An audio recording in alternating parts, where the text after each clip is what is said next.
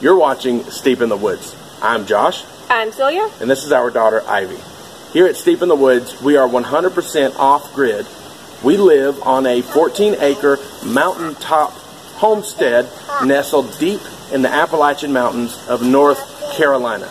Here on Steep in the Woods, we do totally off grid on a shoestring budget. You'll see no fancy stuff here. It's just making do with what you have and what you can figure out. If you're new to the channel, a big warm welcome. If you're a tough old root, then welcome back. Today is a uh, what I would say could be a dangerous thing, not necessarily in respect to the tools, but making the wrong choices on your property and what you introduce to your property can have repercussions that go on forever. However, we have thought about it a whole lot and have made the decision, pulled the trigger. You know, the thing is in the mail, set to be here tomorrow. So today, we're going to go clear some land and make way for our new river cane.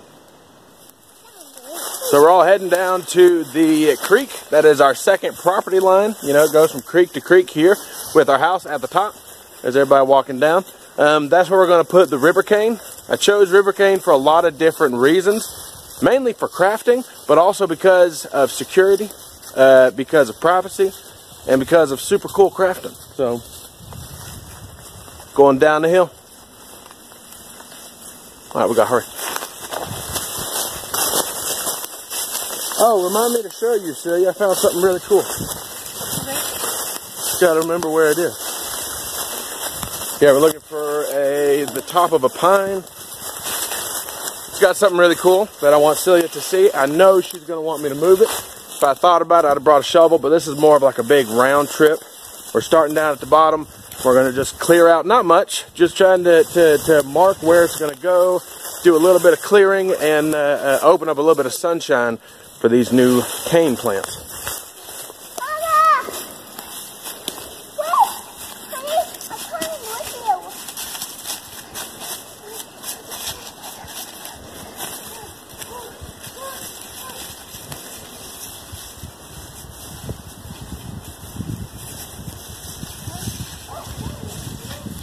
This is actually the site where we're going to put our A-frame Airbnb. It's covered in this crow's crow's foot.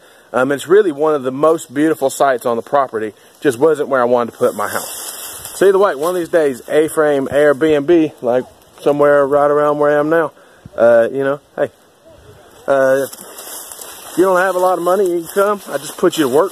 You know, discounts can be given uh, for people who bring tools and whatnot, and uh, you know, heavy duty workers here. Oh, it's over here. All right, I'm gonna follow y'all, and then I'm, we'll come backtrack and look at look at this. Bye! Bye! Someone's got her sword. that was her Yule gift. All right, hey, come over here. Look at this, and then we'll circle back down uh, that way.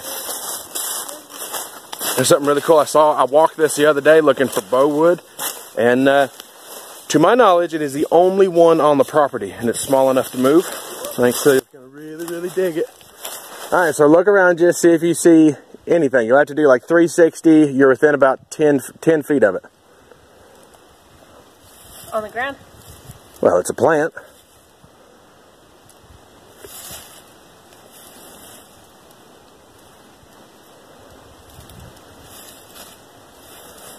Cold. Warm. Hot. Holly? A holly tree. Sweet.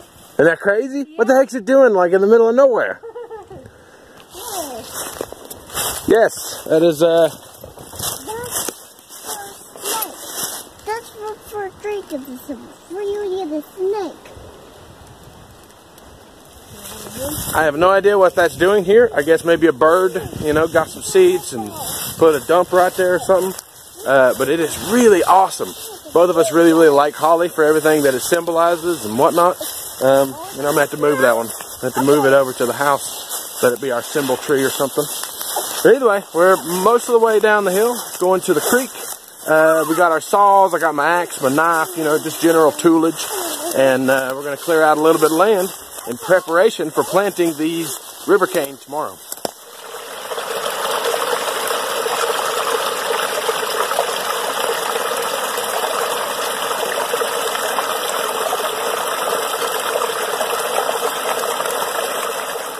We are at the creek. This is our one of our property lines, so we own this half of it. Um, that's how a lot of these older properties are laid out. And now we're just going to get a rough idea, eyeball, where do we want to put these. We have a hundred, a hundred of them coming.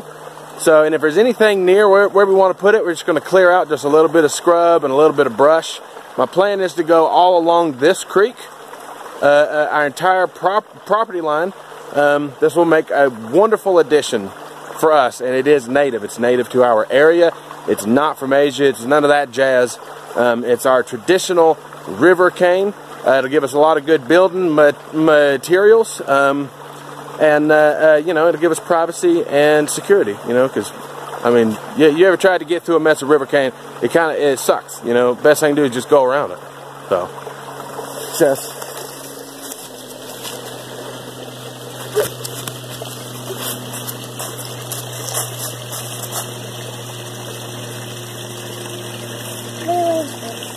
This is the creek.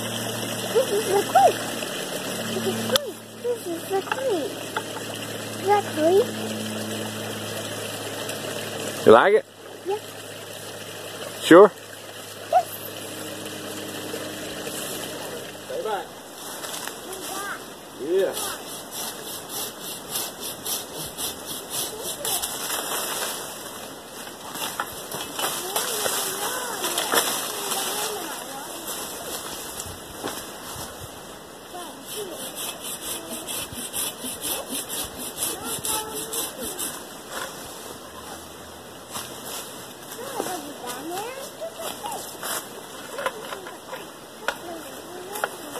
Is a good straight uh, laurel stave here.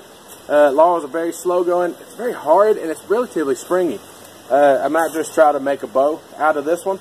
Um, I'm at that stage, you know, obviously uh, uh, being an intelligent person, I understand that practice, practice, practice. So I'm just making a bunch uh, and honestly breaking them. you know, you, you learn more when something breaks than you do when something works. So I'm making bows and breaking them and uh, uh, trying to deduce why and make the next one better. So, hey, we're going to try some laurel. Why not? What are you doing, girl? Um, you understand the way. The way is going. Are you good? Yeah, Don't go near the water. I'm not. Okay. I'm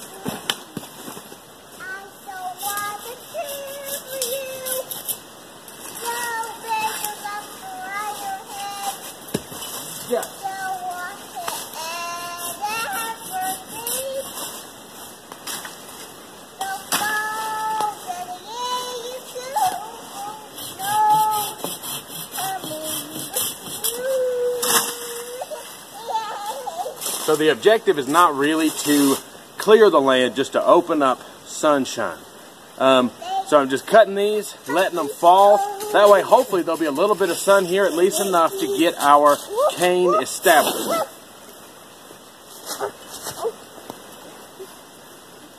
Once it starts to take off, it will create its own sunlight via crowding out smaller things such as this. You gonna help me?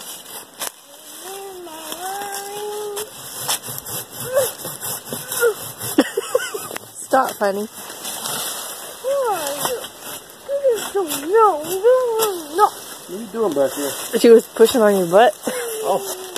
Hey, well, I don't know if, you know, glad she was helping.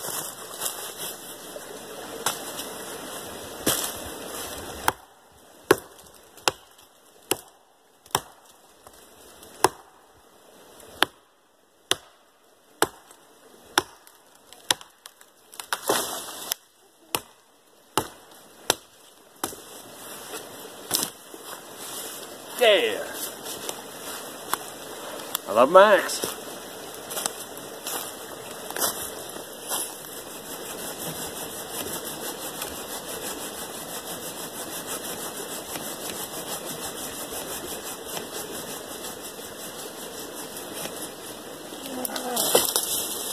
All right, now step, stop on it.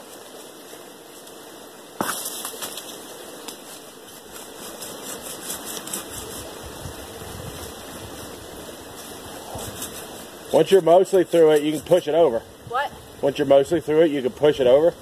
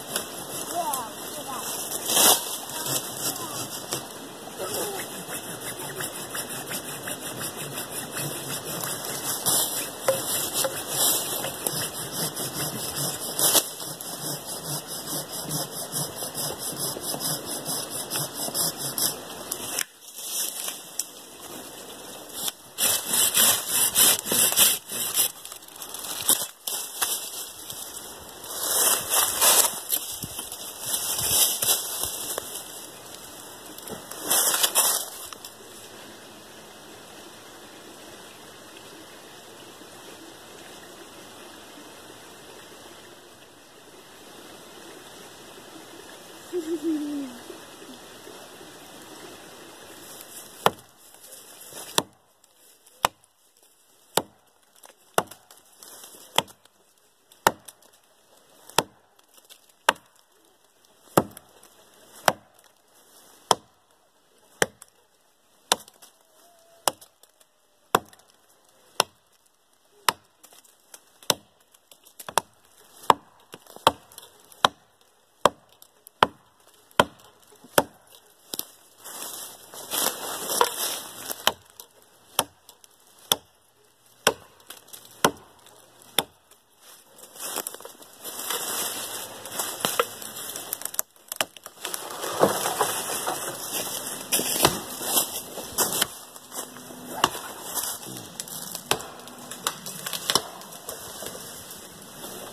Celia and I have pieced out back to the house, not only because it's getting cold, but because it's getting dark and it's time for supper.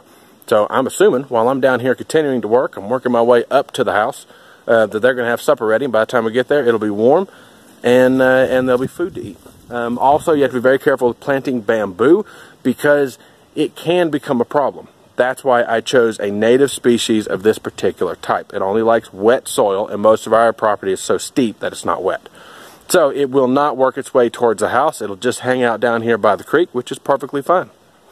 We call this area the field. It's not quite like a, a, a, a picturesque field here, but it's the closest thing that we have.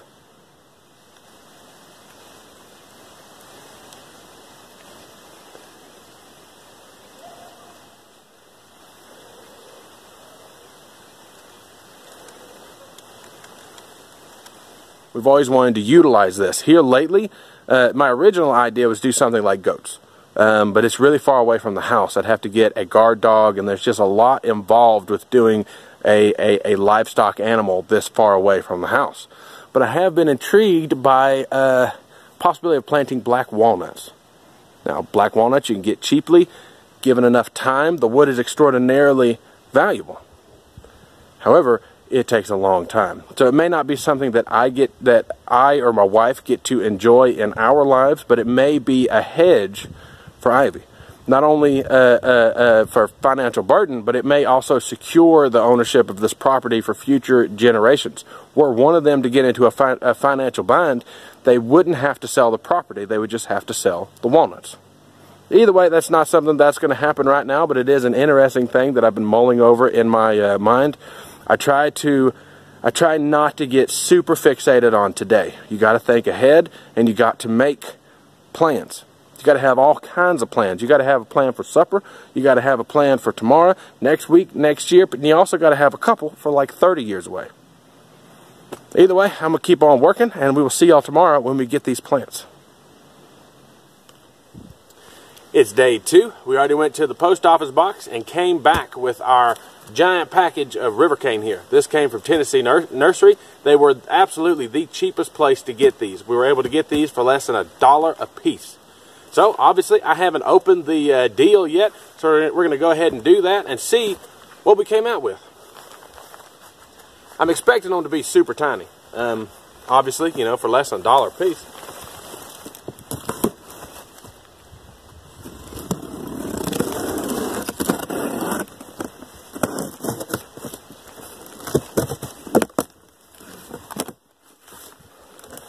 Wow. All right. Well, this is uh, this is a surprise. This is very, very surprising to me. They look a little bit sad, but obviously it's winter here. These are evergreen, but you know, to be in the middle of winter, which is which would be their dormant stage, even if they don't lose their leaves, to be dug up, packaged, mailed, all of that jazz. I expect them to look a little bit haggard, um, but this is much, much uh, uh, better than I thought it was going to be. I was picturing little things like this. Uh, wow, I really like it.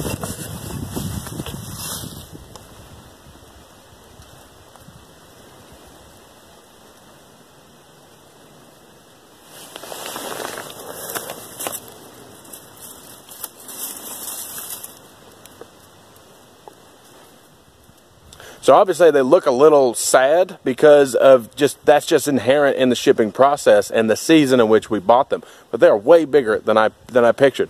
Thank you, Tennessee Nursery. I mean, you know, they didn't like give these to me. I had to buy them. But uh, uh, uh, you know, thank you for surprising me with the quality of these plants and especially the size of them. Now, all we got to do is throw these suckers in the ground.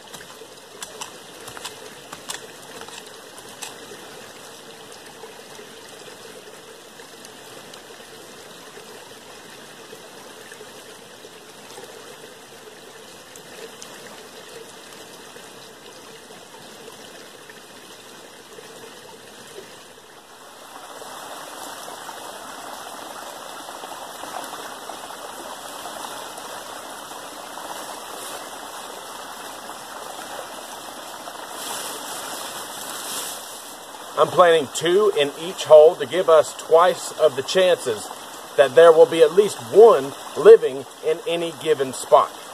The, other, the only other thing I can uh, uh, uh, point out is that when doing this, I'm looking up far more than I'm looking down to try to see where there are pockets of sunlight.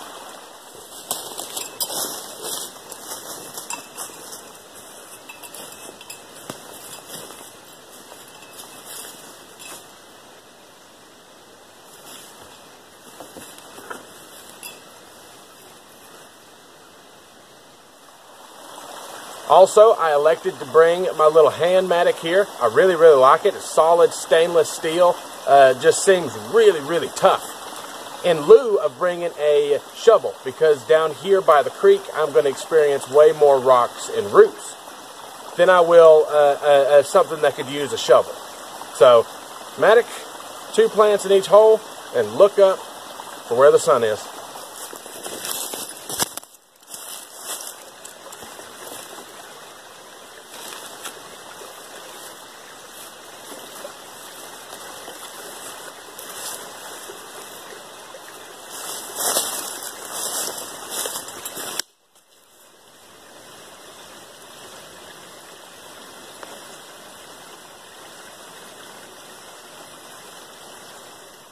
So I'm about halfway done now, but only about a third, or maybe even less, of the distance that I want to span.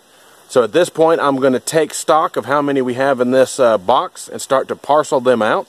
Um, I put more in this area behind me because this is the area where it's most likely to grow. Once you get an established you know, section of it, you can cut off and move them. That's also a lot of what we're going to do on our website is make cuttings once I get a greenhouse built.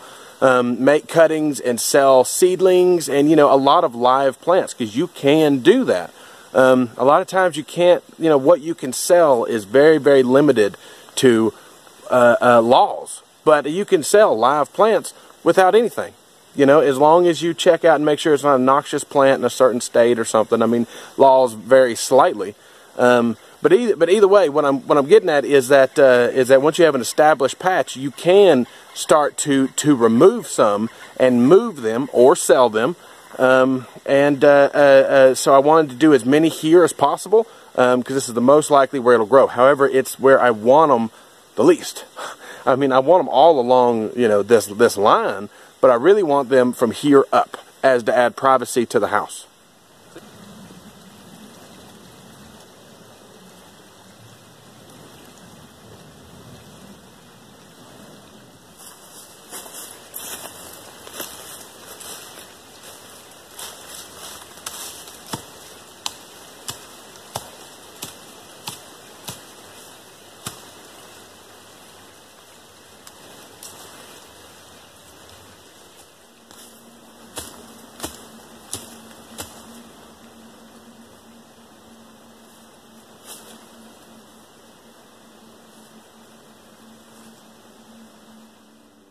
So behind me is where I planted the last one. And you know what? It's that time again. It's getting dark, it's getting cold, and it's time for supper.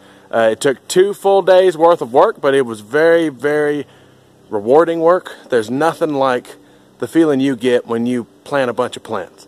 Uh, and I'm very grateful for the opportunity to do stuff like this here on our off-grid property. If you liked what you saw, hit that button. If you're new to the channel, hit that other button. If you want to help support the project, there are links below. Until next time here, Steep in the Woods.